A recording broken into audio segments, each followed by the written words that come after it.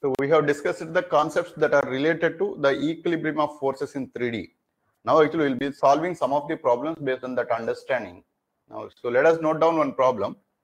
If you have any questions, you can ask me now, or else actually we can start off. So equal forces act along the coordinate axis. Equal forces act along the coordinate axis.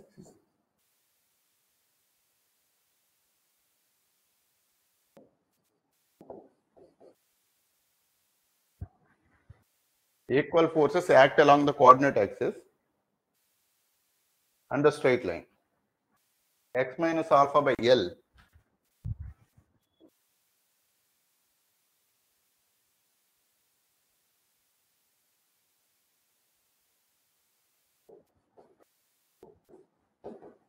y minus beta by m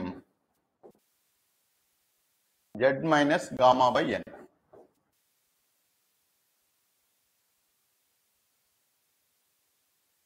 Find the equations of the central axis of the system. Find the equations of the central axis of the system.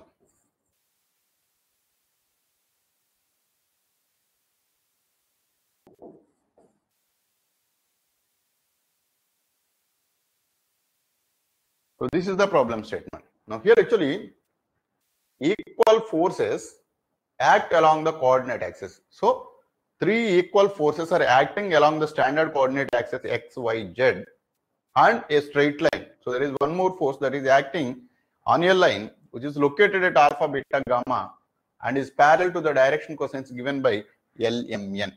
So this is the equation of the straight line.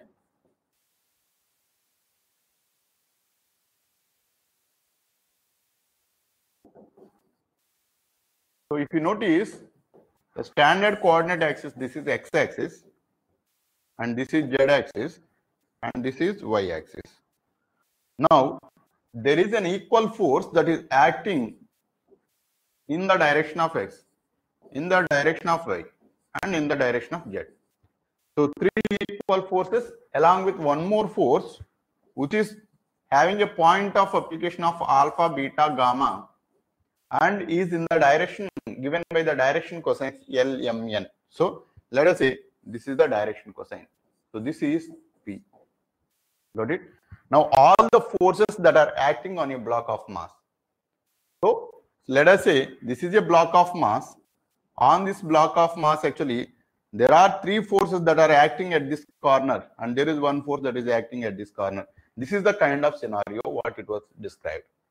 Now, in this particular scenario, there are total forces of four that are acting. Obviously, it will have an equivalent force of R and it will have an equivalent moment of G. And there is an associated central axis. So, the central axis actually, we were asked to find it out. So, if you want to identify all these axes, that is the equation of the central axis.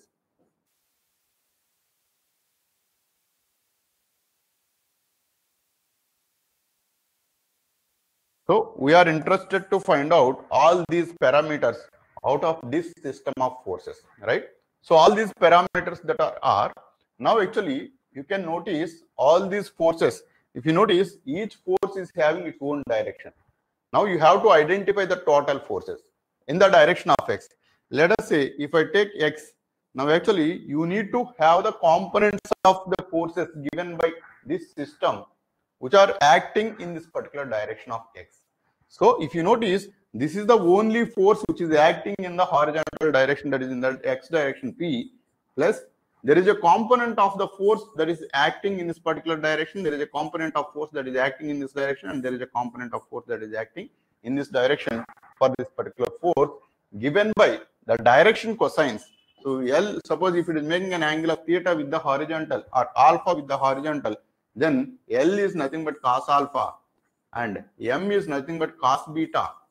So cos beta is the angle that is made with respect to the y-axis and there is an angle of gamma that is made with respect to the z-axis. So N is cos gamma. So these are the direction cosines where this force is acting, right? So these direction cosines will give a component of the force along the x direction. So the component of the force along this x direction is nothing but p cos alpha. So p cos alpha where cos alpha is L. Hence actually this p into L is this component of the force. Now there are two forces. One force component of this one and one force of P.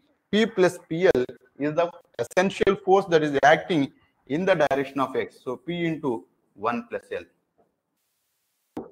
Similarly, if you consider in the direction of the y, there is one force that is acting in the direction of y. Along with that, there is a component of the force that is acting in this, that is Pm. So, in the direction of y, this is P plus Pm. So, this is equal to P into 1 plus M. Similarly, the third force in the direction of z actually, is plus Pn. So, this is P into 1 plus n. So these are the three different force components, which is the resultant of all the forces together acting in, the direction of x and in the direction of y and in the direction of z. Now, the another parameter is you are interested to find out the g value. So r value actually we found. So r is nothing but this is xi plus yj plus zk or this can even be written as p times of 1 plus L into I plus P times of 1 plus M into J plus P times of 1 plus N into K. So this is the force, which is the resultant force. Now to find out the G value, which is nothing but sum of all the couples, all the moments. So to calculate the moment, so this G is expressed as Li plus Mj plus Nk. So this is Li plus Mj plus Nk. This is the resultant moment. Now actually you can find out the individual component of this Lmn. So this is L is nothing but know, to find out this L value, there is a standard procedure. Lmn you can find out. So that is first actually you note down the point of application of the forces.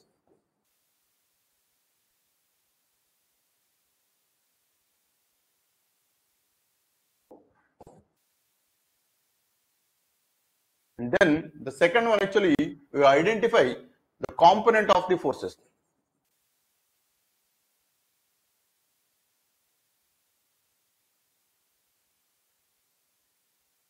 That is the point of application of one, that is x1, y1, z1. These are the point of application of the force 1. And for 2, this is x2, y2, z2. And for 3, x3, y3, z3. And for 4, x4, y4, z4. Now, these coordinates are, there are three forces that are acting from the origin. So, the point of application of this is 0, 0, 0. And the second force is also 0, 0, 0. And the third force, the point of application is 0. But the fourth force is actually alpha, beta, gamma are the location of the point of application of the force. And the component of the forces, so that is the first force which is acting in the direction of x. So in the direction of x actually, this is called as capital X1, capital Y1 and capital Z1 are the force components of the force 1 in the direction of x, in the direction of y and in the direction of z.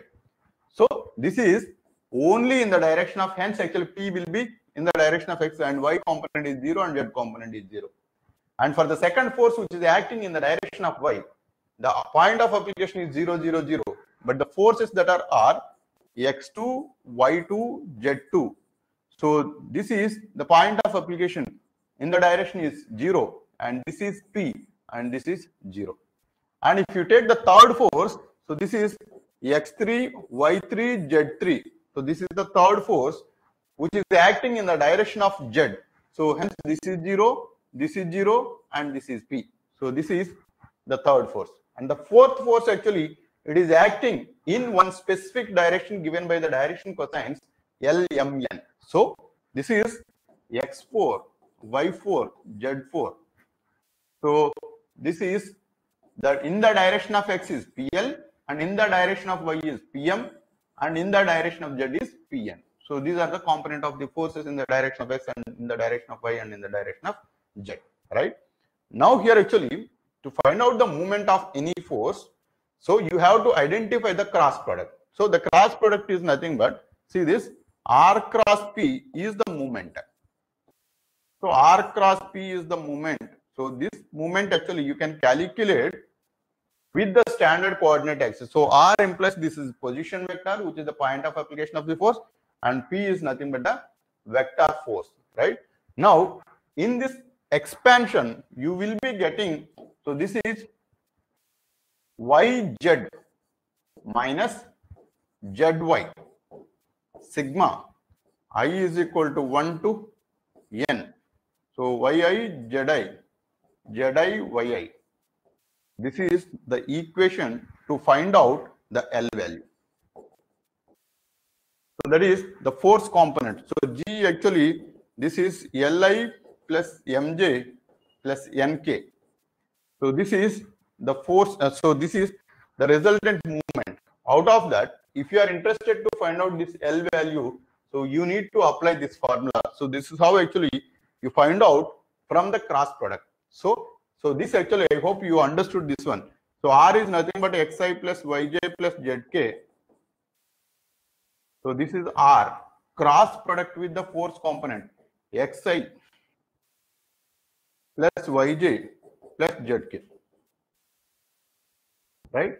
So this is how actually find out the cross product. So for I component, so this is equivalent to L. So L component actually is nothing but, so this is I component if you try to calculate, you do the cross product of this, it will result into the this part of the I. Similarly, if you want to find out the other part, that is M, if you want to find out, so you need to identify sigma I is equal to 1 to N. So this is Zx minus Xz.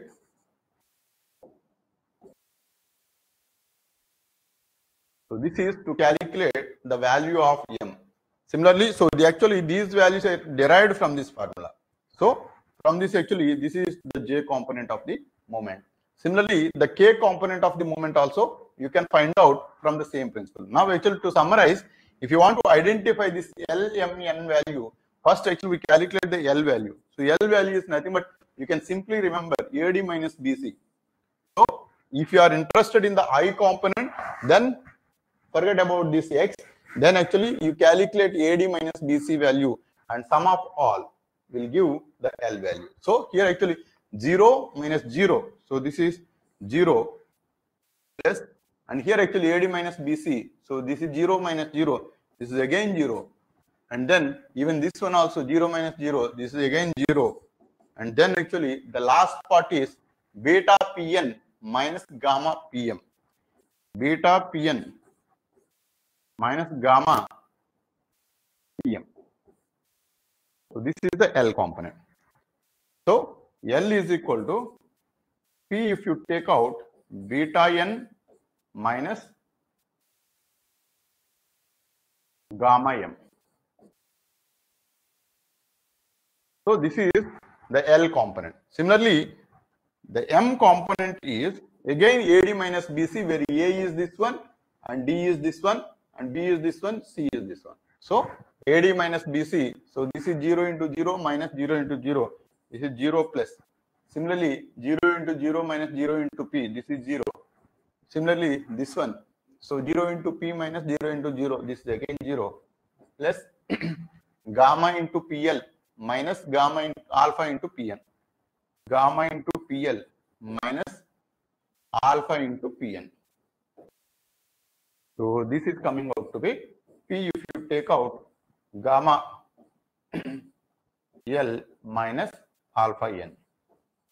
Gamma L minus alpha n. Similarly, you can calculate the last component that is the n component is equal to n component.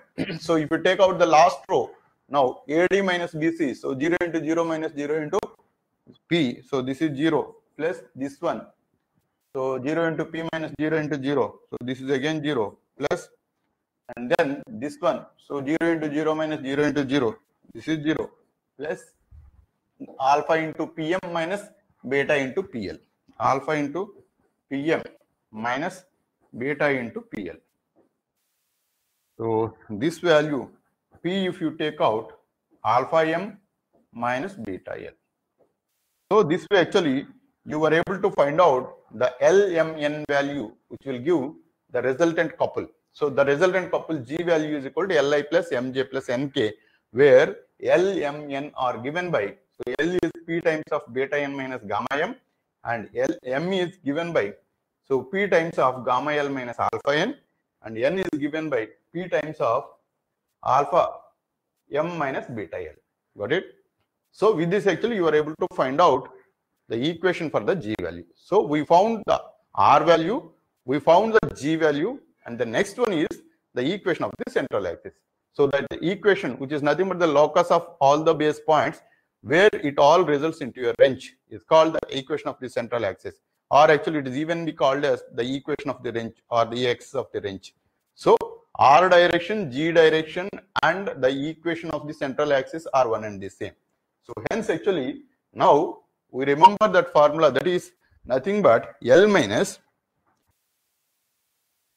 equation of the central axis.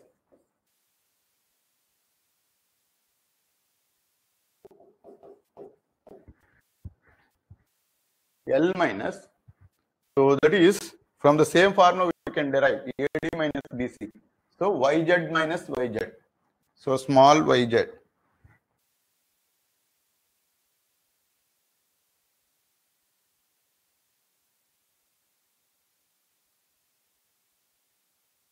divided by x is equal to m minus AD minus BC again. So that is small z into x minus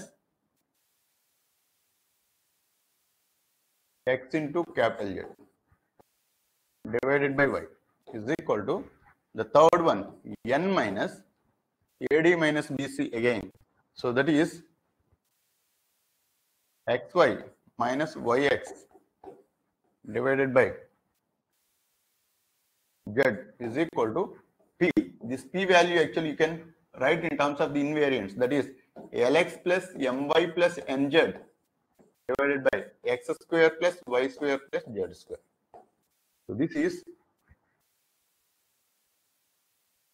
so this is the equation of the central axis or the axis of the wrench. Got it?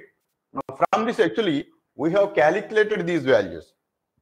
So these values actually L, M, N value we have calculated already. And then this X, Y, Z are nothing but the position vector of the random point of the central axis. And capital X, capital Y, capital Z are the force components in the direction of X and in the direction of Y and in the direction of Z. So we can replace these values with the corresponding values. Then actually you will get the equation of the central axis. Got it? Now actually we can replace it. So L value actually we have calculated and that is coming out to be so L value we have calculated as P times of beta n minus gamma m. So P times of beta n minus gamma m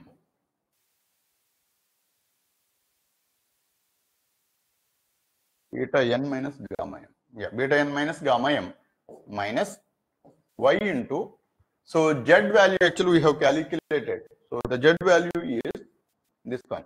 So P times of 1 plus M. P times of 1 plus M.